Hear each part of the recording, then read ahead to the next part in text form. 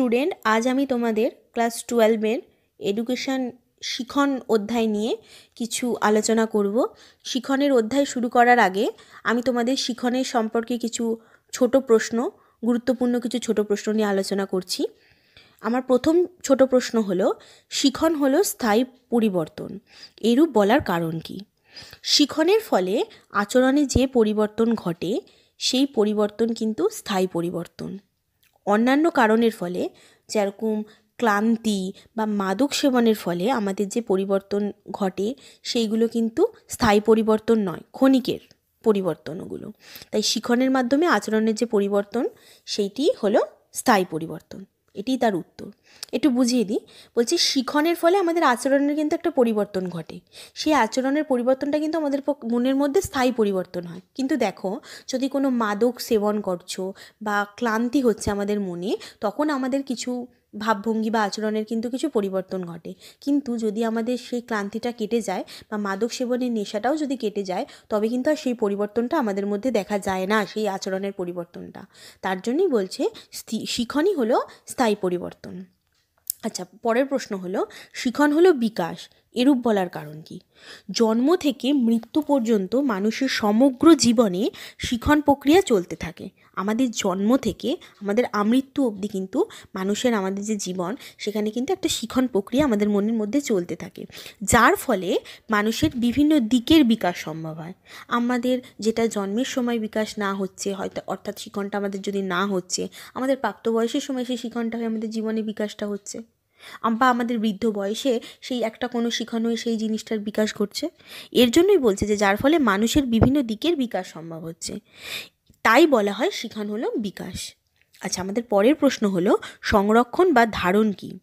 সংরক্ষণ বা ধারণ হলো এমন একটি প্রক্রিয়া যার মাধ্যমে বিভিন্ন অভিজ্ঞতা দীর্ঘমেয়াদী স্মৃতিতে পরিবর্তিত হয়। অর্থাৎ সংরক্ষণ বা ধারণ হচ্ছে এমন একটা প্রক্রিয়া যার মাধ্যমে আমরা যদি কোনো অভিজ্ঞতা আমাদের যদি পূর্বে থাকে, সেই অভিজ্ঞতাটা কিন্তু আমাদের অনেক দিন অবধি, অর্থাৎ দীর্ঘমেয়াদী অবধি আমাদের স্মৃতিতে পরিবর্তিত হয়ে থাকে। হুম? এবার বলছে প্রত্যভিক্ষা কাকে বলে? বলছে পূর্বার্জিত অভিজ্ঞতা যখন তার প্রতিরূপের সাহায্যে পুনরুত্থাপিত হয়, তখন তাকে প্রত্যভিক্ষা বলছে। অর্থাৎ আমাদের যদি পূর্বে কোনো অভিজ্ঞতা আমাদের মনে থাকে এবং ঠিক সেই অভিজ্ঞতার মতন কোনো একটা কিছুকে যদি আমরা দেখি, তখনই কিন্তু আমাদের সেই পূর্বের অভিজ্ঞতাটা আমাদের মনের মধ্যে পুনরুত্থান ঘটছে। তাকেই বলছে প্রত্যভিক্ষা। আচ্ছা পরের প্রশ্ন হলো, ক্ষণস্থায়ী অনুরাগ কাকে বলে? যে আগ্রহ বিশেষ উদ্দেশ্য সাধনের জন্যই সৃষ্ট হয় এবং উদ্দেশ্য সাধিত হলেই যা অন্তর্হিত হয়, তাকে ক্ষণস্থায়ী আগ্রহ বা অনুরাগ বলছে। অর্থাৎ যে আগ্রহটা আমাদের বিশেষ উদ্দেশ্য সাধনের জন্যই আমাদের মনের মধ্যে সৃষ্টি হয়েছে এবং উদ্দেশ্য সাধিত হয়ে যাওয়ার পর মানে উদ্দেশ্যটা কমপ্লিট হয়ে যাওয়ার পর, সেটা আমাদের মন থেকে অন্তর্নিহিত হয়ে গেছে। অন্তর এই হিত হয়ে গেছে, তাকে ক্ষণস্থায়ী আগ্রহ বা অনুরাগ বলছে। একটা উদাহরণের সাহায্যে জেনে নিই। যেমন পরীক্ষায় সাফল্য অর্জনের জন্য পড়ার প্রতি আগ্রহ। অর্থাৎ আমরা পরীক্ষায় সাফল্য অর্জন কেন মানে করব এইটা মনে করেই তো পড়ার প্রতি আগ্রহটা হয়, এই ক্ষেত্রে এটাই তার উদাহরণ। পরের প্রশ্ন, প্রকট ব্র্যাকেটে ব্যক্ত ইচ্ছাপ্রসূত মনোযোগ কাকে বলে? কোনো বিষয়ের প্রতি বারবার ইচ্ছাশক্তি প্রয়োগ করে যে মনোযোগ দেওয়া হয় তাকেই প্রকট বা ব্যক্ত ইচ্ছাপ্রসূত মনোযোগ বলে। অর্থাৎ আমরা কোনো বিষয়ের প্রতি যদি বারবার ইচ্ছা শক্তিটাকে প্রয়োগ করি এবং তার ফলে যে মনোযোগটা আমাদের দেওয়া হয় সেই বিষয়ের প্রতি, তাকেই প্রকট বা ব্যক্ত বা ইচ্ছাপ্রসূত মনোযোগ বলছে। যেমন পরীক্ষার ঠিক আগে পড়াশোনার প্রতি মনোযোগ। আমরা পরীক্ষা দিতে হবে, ভালো করে পরীক্ষা দিতে হবে, তার জন্য তো আমাদের ইচ্ছাটা আছে যে পড়াশোনাটা তখন তার জন্য করতে হবে। এটাই হলো আমাদের প্রকট, ব্যক্ত, ইচ্ছাপ্রসূত মনোযোগ। আচ্ছা পরের প্রশ্ন হলো অপ্রকট গুপ্ত ইচ্ছাপ্রসূত মনোযোগ কাকে বলে? কোনো বিষয়ের প্রতি মাত্র একবার ইচ্ছাশক্তি প্রয়োগেই মনোযোগ আকৃষ্ট হলে তাকে অপ্রকট গুপ্ত ইচ্ছাপ্রসূত মনোযোগ বলে। অর্থাৎ আমরা যদি কোনো বিষয়ের প্রতি একবারই ইচ্ছা শক্তিটা প্রয়োগ করি এবং তার ফলে আমাদের মনোযোগটা আকৃষ্ট হচ্ছে, তখনই তাকে বলছে অপ্রকট গুপ্ত ইচ্ছাপ্রসূত মনোযোগ। যেমন, দূরদর্শনে আকর্ষণীয় অনুষ্ঠান দেখা। আমাদের একবারই ইচ্ছা করল, কিন্তু দেখার পরে কিন্তু আমাদের তার উপরে একটা মনোযোগ সৃষ্টি হয়। তো সেই ক্ষেত্রে এটাকে বলছে অপ্রকট গুপ্ত ইচ্ছাপ্রসূত মনোযোগের উদাহরণ। আমাদের পরের প্রশ্ন, অর্জিত ক্ষমতা কাকে বলে? উদাহরণ দাও। যে ক্ষমতা মানুষ নিজের চেষ্টা বা অনুশীলনের মাধ্যমে অর্জন করছে, তাদের অর্জিত ক্ষমতা বলছে। বলছে যে ক্ষমতাটা আমরা নিজেদের চেষ্টায় অর্জন করছি, কারোর চেষ্টায় না বা আমাদের মনের মধ্যে আগে থেকে নেই। আমরা নিজেদের যোগ্যতায় বা নিজেদের চেষ্টায় সেটাকে অর্জন করছি, তখনই তাকে অর্জিত ক্ষমতা বলা হচ্ছে। এর একটা উদাহরণ হলো লেখালেখির ক্ষমতা, পড়ার ক্ষমতা ইত্যাদি। আমরা লেখালেখিটাও নিজের ক্ষমতায় করি বা পড়াটাও নিজের ক্ষমতাতেই করি। আচ্ছা সাধারণ মানসিক ক্ষমতা কাকে বলে? সাধারণ মানসিক ক্ষমতা হলো যে ক্ষমতা সব কাজেই কম বেশি প্রয়োজন হয় এবং জন্মগত যা সহজাত, অর্থাৎ যা সহজাত এবং জন্মগত এবং সব কাজেই টুকটাক যার প্রয়োজন হয় তাকেই মানসিক ক্ষমতা বলে। স্পিয়ারম্যান আবার এই ক্ষমতাটাকে কিন্তু জি ক্ষমতাও বলেছে। আচ্ছা বিশেষ মানসিক ক্ষমতা কাকে বলে? বলছে কোনো বিশেষ কাজের জন্য সাধারণ মানসিক ক্ষমতা ছাড়াও তো আমাদের একটা বিশেষ ক্ষমতা লাগে। কিন্তু সেই বিশেষ ক্ষমতাটা কিন্তু অন্য কোনো কাজে দরকার পড়বে না। শুধু সেই কাজের জন্যই সেই যদি বিশেষ ক্ষমতাটা লাগে, তখনই তাকে বলছে বিশেষ মানসিক ক্ষমতা। স্পিয়ারম্যান এই ক্ষমতাটাকে আবার এস ক্ষমতা বলে অভিহিত করেছেন। আচ্ছা আমার পরের প্রশ্ন হলো বুদ্ধাঙ্ক কাকে বলে? বুদ্ধাঙ্ক বলতে সাধারণ বয়স এবং মানসিক বয়সের অনুপাতকে বোঝাচ্ছে। তবে সুবিধার জন্য এই অনুপাতকে কিন্তু একশো দ্বারা গুণও করা হয়। আমরা একটা ইকুয়েশনের মাধ্যমে তোমাদেরকে সেটা বুঝিয়ে দিই। বলছে বুদ্ধাঙ্ক equal to IQ equals to ব্যক্তির মানসিক বয়স। ব্র্যাকেটে এম ডট এ অর্থাৎ মেন্টাল এজ বাই ব্যক্তির সাধারণ বয়স ব্র্যাকেটে সি ডট এ অর্থাৎ কমন এজ ইন্টু হান্ড্রেড এটা হচ্ছে বুদ্ধাঙ্কের ইকুয়েশান আচ্ছা আমরা তো শর্ট প্রশ্ন নিয়ে আলোচনা করলাম। এবার আমরা কিছু ব্রড কোশ্চেন নিয়েও আলোচনা করি।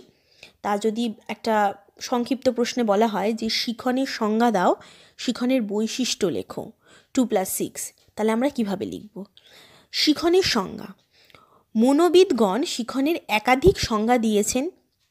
এখানে দুটি গুরুত্বপূর্ণ সংজ্ঞার উল্লেখ করা হয়েছে।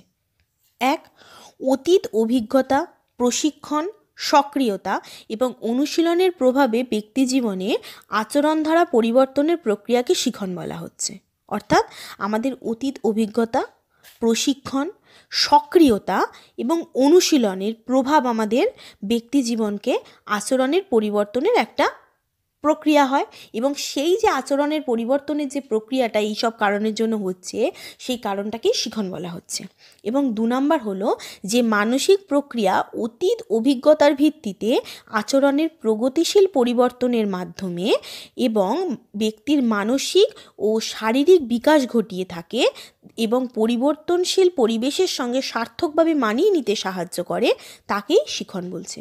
অর্থাৎ বলছে যে যে মানসিক প্রক্রিয়াটা অতীত অভিজ্ঞতার ভিত্তিতে, আমাদের অতীতে কোনো অভিজ্ঞতার ভিত্তিতে আচরণের প্রগতিশীল পরিবর্তনের মাধ্যমে এবং আমাদের আচরণের একটা প্রগতিশীল পরিবর্তনের মাধ্যম দিয়ে ব্যক্তির মানসিক এবং শারীরিক বিকাশ ঘটিয়ে, ব্যক্তির মানসিক, মনের দিক থেকে এবং শরীরের দিক থেকে বিকাশ ঘটিয়ে তাকে আমাদের এই পরিবর্তনশীল পরিবেশের সঙ্গে সার্থকভাবে মানিয়ে নিতে সাহায্য করছে, তাকেই শিখন বলছে। বর্তমানে মনস্তত্ত্বের বিভিন্ন দৃষ্টিভঙ্গি অনুযায়ী শিখনের সংজ্ঞায়িত করা হয়েছে। যেমন, আচরণবাদীদের মতে অভিজ্ঞতার ফলে আচরণের পরিবর্তনকেই শিখন বলছে। জ্ঞানমূলক তত্ত্বের সমর্থকদের মতে শিখন হল জ্ঞান, বোধ, দক্ষতা ইত্যাদি অর্জন। নির্মিতিবাদদের মতে যেমন পিয়াজে প্রমুখ, তাদের মতে শিখন হল জ্ঞান নির্মাণের প্রক্রিয়া। আচ্ছা সামাজিক নির্মিতিবাদীদের মতে যেমন ভাই যেমন ভাই গটষ্টি তাদের মতে শিখন জ্ঞান নির্মাণের সামাজিক প্রক্রিয়া। উপরিউক্ত সংজ্ঞাগুলিকে বিশ্লেষণ করে শিখনের একটি কার্যকরী সংজ্ঞা দেওয়া যেতে পারে।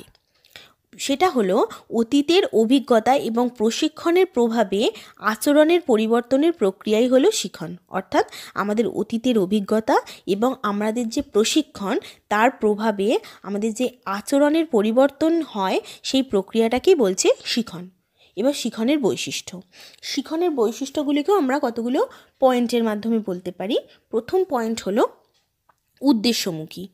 প্রথাগত শিক্ষায় শিখন উদ্দেশ্যমুখী, অর্থাৎ পূর্বনির্দিষ্ট উদ্দেশ্য আয়ত্ত করার জন্যই শিক্ষার্থীরা শেখে। অর্থাৎ উদ্দেশ্যমুখীর ক্ষেত্রে কী বলছে? যে আমাদের প্রথাগত যে শিক্ষা, সেই শিখন, সেখানেই আমাদের উদ্দেশ্যমুখী হয়। অর্থাৎ আমাদের যে পূর্ব নির্দিষ্ট উদ্দেশ্য সেটাকে আয়ত্ত করার জন্যই কিন্তু শিক্ষার্থীদের এই শিখনটার প্রয়োজন। আচ্ছা দ্বিতীয় পয়েন্ট হলো বিকাশমান। শিখন হলো একটি ক্রমবিকাশমান প্রক্রিয়া। জন্মকাল থেকে মৃত্যু পর্যন্ত মানুষের জীবনে শিখনের প্রক্রিয়া কিন্তু চলতেই থাকে। আচ্ছা তৃতীয় পয়েন্ট হলো অভিযোজনমূলক। শিখন প্রক্রিয়ার মাধ্যমে প্রাণীরা নতুন পরিস্থিতির সঙ্গে মানিয়ে চলতে শেখে এবং নতুন কোনো সমস্যায় পড়লেও কিন্তু সমাধানের পথ খুঁজে বার করে। চতুর্থ পয়েন্ট হলো চাহিদা নির্ভর। শিখন প্রক্রিয়া চাহিদা নির্ভর, অর্থাৎ শিখনকে চাহিদা পূরণ নিয়ন্ত্রণ করে। ঠিক আছে? আমাদের পঞ্চম পয়েন্ট হলো ব্যক্তি ও সমাজ নির্ভর। শিখন যেমন ব্যক্তির চাহিদার ওপর নির্ভর করছে, তেমনি কিন্তু সমাজের চাহিদার দ্বারাও শিখন প্রভাবিত হচ্ছে। সমাজ তার আশা, আকাঙ্ক্ষা, প্রত্যাশা শিখনের মধ্যে দিয়েই কিন্তু পূরণ করছে। তাছাড়া মানুষ সমাজবদ্ধ জীব। সমাজের মধ্যেই সে বড় হয়ে উঠছে। প্রতিদিন সমাজের বিভিন্ন মানুষের সঙ্গে সে কিন্তু মিথস্ক্রিয়া করছে, যার ফলে সে অনেক কিছুই শিখতে পারছে। তাই শিখন হলো একই সঙ্গে ব্যক্তি ও সমাজ নির্ভর একটা প্রক্রিয়া। আমার ছ নম্বর পয়েন্ট হলো আচরণগত পরিবর্তন। ব্যক্তি যখন কোনো সমস্যার সম্মুখীন হয়, তখন সে পূর্বার্জিত আচরণের দ্বারা তার সমস্যা কিন্তু সমাধানের চেষ্টা করে। কিন্তু তাতেও যদি সফল না হলে সে তখন নতুন আচরণের দ্বারা এই সমস্যাটা সমাধানের চেষ্টা করছে। এইভাবেই তার আচরণের যে পরিবর্তন ঘটছে, তাই শিখন প্রক্রিয়ার মাধ্যমে ব্যক্তির আচরণের পরিবর্তনের কারণ বলে ধরা হচ্ছে। আচ্ছা আমার সাত নম্বর পয়েন্ট স্থায়ী পরিবর্তন। বলছে, শিখনের ফলে যে পরিবর্তন হচ্ছে তা কিন্তু একটা স্থায়ী প্রকৃতির অন্যান্য অস্থায়ী বা সাময়িক পরিবর্তনের সঙ্গে বলেছিলাম তোমাকে শিখনের, আমি যখন সংজ্ঞাটা দিতে, যে শান, ক্লান্তির কারণে বা কোনো মাদক গ্রহণের কারণে আমাদের কিন্তু কিছু পরিবর্তন হয়। কিন্তু সেই পরিবর্তনটা ক্ষণিকের, কিন্তু শিখনজাত পরিবর্তনের কিন্তু এইখানেই হচ্ছে পার্থক্য। এটা কিন্তু স্থায়ী। আচ্ছা আমার আট নম্বর পয়েন্ট হচ্ছে সার্বিক বিকাশে সহায়ক। শিখনের ফলে ব্যক্তি যে কেবলমাত্র কয়েকটি কৌশল অর্জন করে তাই কিন্তু নয়, শিখনের ফলে ব্যক্তির বিভিন্ন দিকেরও কিন্তু বিকাশ ঘটছে। যেমন দৈহিক, মানসিক, প্রাক্ষবিক সামাজিক সামাজিক প্রভৃতি কিন্তু বিভিন্ন বিকাশেরও মানে বিকাশও ঘটছে আর কি এরপর বলছে ন নাম্বার পয়েন্ট অনুশীলন সাপেক্ষ। পুরনো আচরণ ত্যাগ করে নতুন নতুন আচরণটাকে আয়ত্ত করার জন্য ব্যক্তিকে কিন্তু বারবার অনুশীলন করতে হয়। আমাদের পুরনো যে আচরণগুলোকে ত্যাগ করে নতুন আচরণটাকে আয়ত্ত করার জন্য কিন্তু বারবার আমাদের সেই অনুশীলনটা করতে হয়। অনুশীলন ছাড়া কিন্তু ব্যক্তি স্থায়ী হতে পারে না, কোনো শিখন স্থায়ী হতে পারে না। এরপর বলছে দশ নম্বর পয়েন্ট শিখনের হার। পরীক্ষায় দেখা গেছে প্রথম দিকে শিখন খুব দ্রুত ঘটছে। পরে এর হার হ্রাস পায় এবং এমন এক সময় আসে যখন অনুশীলনের ফলেও শিখনের উন্নতি হয় না। একেই শিখনের অধিত্যকতা বলে। তবে প্রেষণার বৃদ্ধির ফলে এবং শিখন পদ্ধতির পরিবর্তনে এই অধিত্যকতা কিন্তু অতিক্রম করা সম্ভব হয়।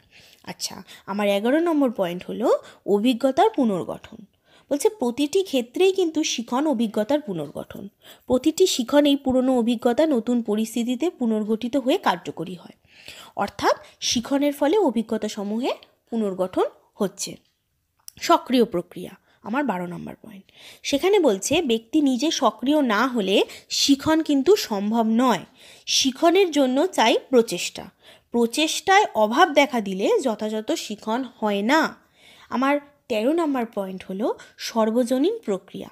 শিখন কেবলমাত্র মানুষের মাধ্যমেই সীমাবদ্ধ নয়, ইতর প্রাণীরাও শেখে, কারণ তারাও পরিবর্তিত পরিবেশের সঙ্গে শিখনের মাধ্যমে নিজেদের মানিয়ে নেয়। আমার চোদ্দ নম্বর পয়েন্ট হলো পরিবেশের ফল, মানুষের যাবতীয় অভিজ্ঞতা অর্জিত হয় পরিবেশ থেকেই। সেই কারণে শিখন হলো পরিবেশের ফল, উপযুক্ত পরিবেশ শিখনকে কিন্তু ত্বরান্বিত করে। আমার পনেরো নম্বর পয়েন্ট হলো প্রেষণা নির্ভর। মানুষের একটি অভ্যন্তরীণ স্পৃহা হলো প্রেষণা। প্রেষণা প্রত্যেকটি কাজে মানুষকে শক্তি যোগায়। প্রেষণা ছাড়া শিখন অসম্ভব। আমার ষোলো নম্বর পয়েন্ট হলো কুসংস্কার দূরীকরণ। শিখন ব্যক্তিকে যুক্তি নির্ভর করে তোলে এবং কুসংস্কার, অন্ধবিশ্বাস ইত্যাদি থেকেও কিন্তু ব্যক্তিকে মুক্ত করতে সাহায্য করে। আজকে এইটুকুনি থাক। পরবর্তীকালে আমি তোমাদেরকে আরও শিখনের কিছু গুরুত্বপূর্ণ প্রশ্ন নিয়ে আলোচনা করব। Thank you